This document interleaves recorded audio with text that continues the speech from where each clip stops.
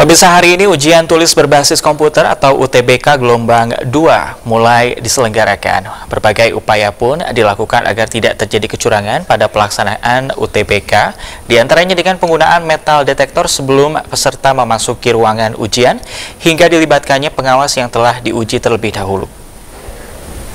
Di Bandung, ujian tulis berbasis komputer atau UTBK gelombang 2 diselenggarakan di empat lokasi yaitu ITB, UPI, ISBI, dan UNPAD.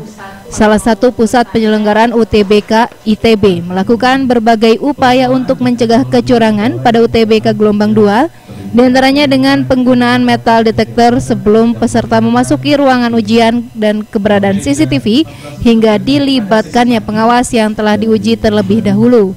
Oke, jadi pertama peserta hanya boleh membawa semua berkas yang diperbolehkan yaitu hanya kemejanya itu hanya ada kartu ujian, KTB-nya dia, surat pengenal maksudnya ya, dan pensil pensil non mekanik.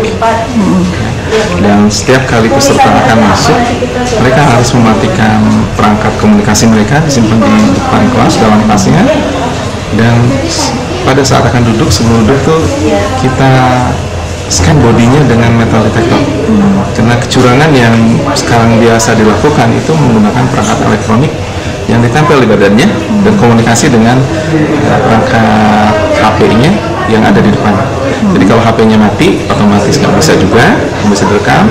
Kalau tidak ada perangkat elektronik yang nempel di badannya, otomatis juga uh, tidak bisa melakukan kecurangan hmm. seperti itu. Mungkin itu yang kita lakukan gitu ya. Sama pengawasnya juga di oh iya.